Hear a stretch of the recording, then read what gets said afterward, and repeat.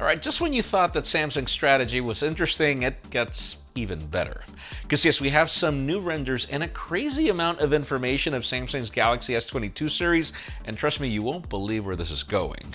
It looks like we could be getting not one, but two different events from Google this month, and for those of you waiting for a MacBook Air refresh to pull the trigger, Kuo things you should stop waiting. I'm Jaime Rivera, and uh, don't forget that you can win an iPhone 13 Pro Max and an iPhone 13 of your own. Details of the giveaway, along with our partnership with SUPCASE, are all in the description. This is Pocketnow Daily.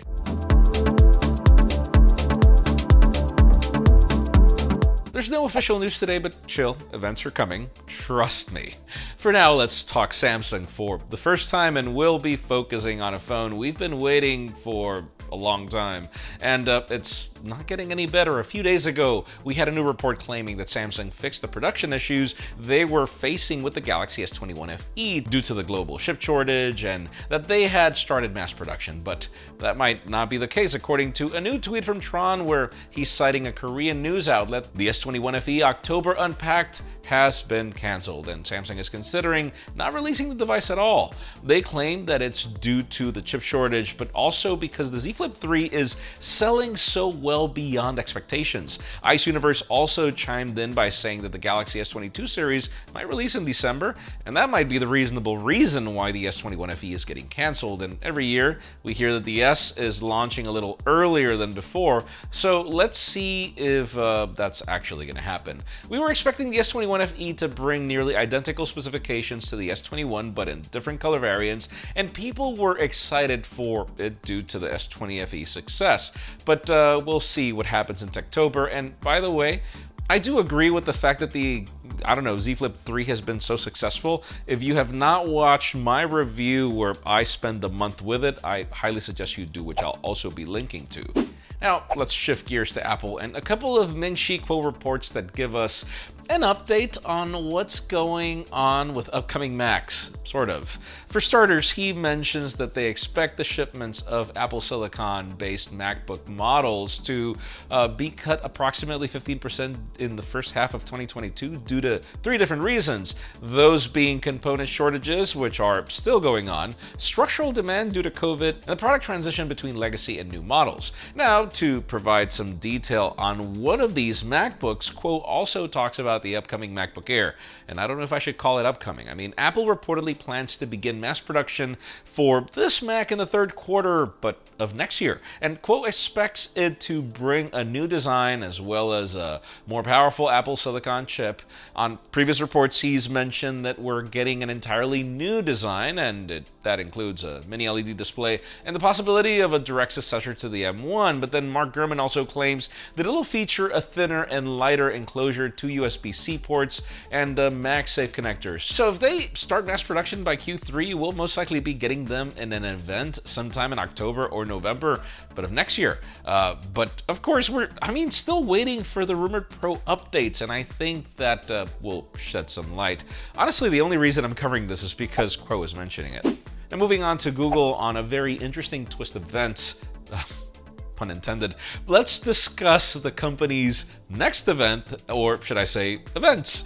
Google usually hosts their Pixel keynotes in October, and with the Pixel 6 being announced and promoted already, every rumor pointed to the announcement happening sometime next month. But it looks like we can expect more than just one. On a deleted article from CNET that was spotted by XDA developers, they're talking about a Google event set to happen on October 5th. However, to everyone's surprise, we won't be getting a Pixel on this date. Instead, the article mentions that uh, they're going to focus on Nest Travel and Map products uh, this time around. But those of you looking for a Pixel date, Mishaal then went on to find the Gcam flag that might reveal the real launch date for the 6 series. Apparently, this flag was reportedly changed to October 27, 2021 on his device, which has Pixel 6 Pro props. After this date, it will prompt the user in-app for an update, hinting that there will be a phone by then.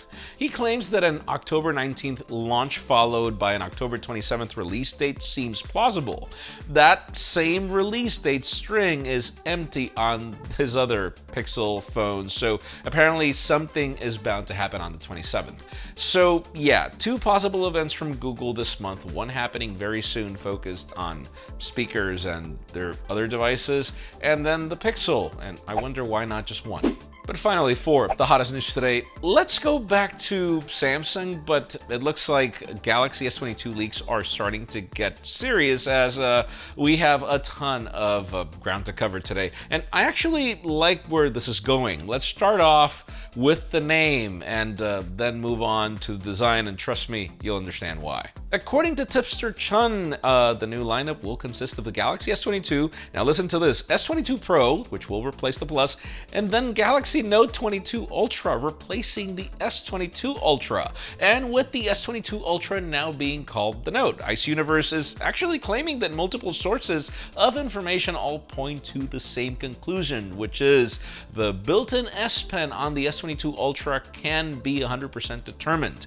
We also have our first renders from OnLeaks and Ice Universe for the entire lineup. According to these renders, the S22 and the Pro or Plus will follow up on the exact same design uh, that we have at the moment, with the triple camera array at the back and the punch hole in the front. And when it comes to the Ultra, we get a squared off design that's very reminiscent of the Note 20 series, and we're also getting some new camera housings. There's two possible designs, one being this sort of P module with four different lenses and the laser autofocus, which is what OnLeaks designed. And the Ice Universe take has uh, the camera separate with three on one array, and then the fourth lens and the flash and the laser autofocus would be next to them on a different little module, sort of like the P20 Pro, but to the side.